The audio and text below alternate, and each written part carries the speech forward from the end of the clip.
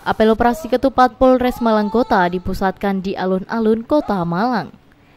Dan operasi ketupat tahun ini, pihak Polres Malang Kota menyiagakan 620 pasukan, di antaranya adalah 430 polisi, 60 TNI, dan petugas gabungan dari relawan dan pramuka.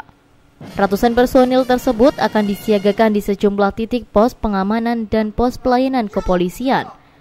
Pengamanan operasi ketupat kali ini sedikit berbeda dari tahun sebelumnya sebab pengamanan lebaran tahun ini masih berada dalam masa tahapan pemilu.